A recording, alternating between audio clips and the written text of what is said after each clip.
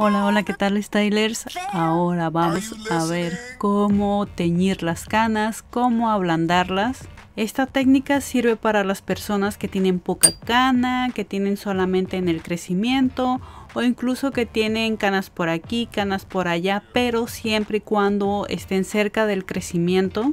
Como pueden ver mi modelo tiene el cabello completamente lleno de canas pero les voy a mostrar la técnica que les comento que es solamente para el crecimiento.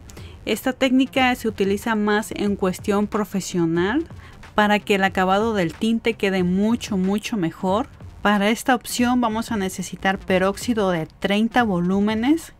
Este nos va a ayudar para abrir y ablandar las canas y nos va a dejar un terminado profesional para que nos dure por más tiempo el tinte. Simplemente hay que vaciar el peróxido en un bol, en un CIO y enseguida aplicarlo solamente en el crecimiento, o sea, en las zonas donde tengamos canas.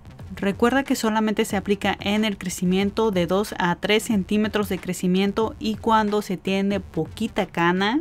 Vamos a empezar a aplicarlo de adelante hacia atrás en toda la línea facial.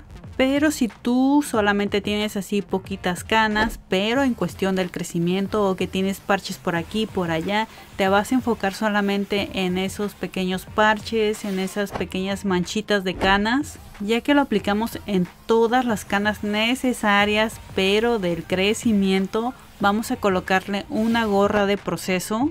Enseguida le vamos a aplicar calor con la secadora por 5 minutos y lo vamos a dejar reposar por 15 minutos más. Esto nos va a ayudar a ablandar aún más las canas y a que el tinte que vayamos a poner enseguida penetre mucho mejor. Después de los 15 minutos de reposo vamos a limpiar todo ese peróxido con una toalla limpia y seca. No vamos a enjuagar el cabello para nada, no va a tener contacto con el agua. Ya después de ablandar las canas, ahora sí es momento de aplicar el tinte así directo, sin necesidad de hacer ningún enjuague previo.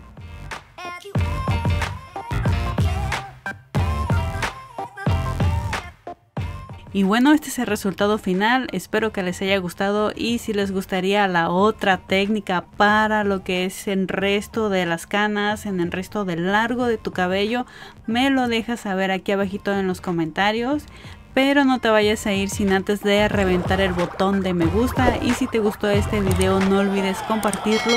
Recuerda que cuento con redes sociales y en todas me encuentras como Liz Style y nos vemos en el siguiente video.